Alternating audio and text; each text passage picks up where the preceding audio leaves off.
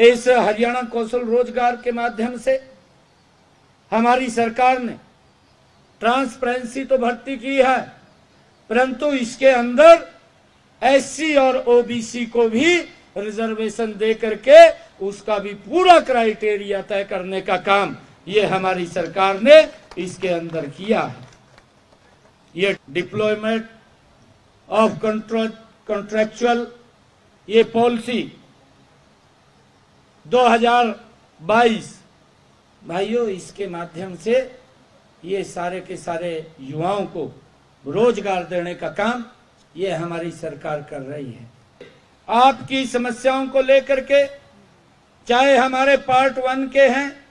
या part two के हमारे, या पार्ट थ्री के हमारे, ये सभी कर्मचारी हैं जो भर्ती हुए थे, उनकी समस्याओं को लेकर के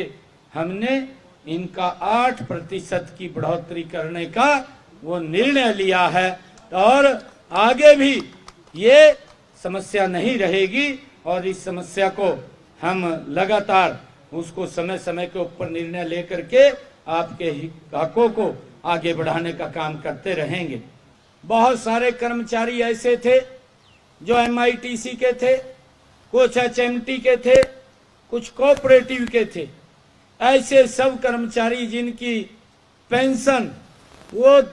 दो हज़ार रुपये दो हज़ार से कम उनको मिलती थी, परंतु हमने कैबिनेट में यह निर्णय किया कि ऐसे कोई भी कर्मचारी है, सभी को कम से कम तीन हज़ार रुपये महीने की वो पेंशन उनको मिलनी शुरू हो जाएगी।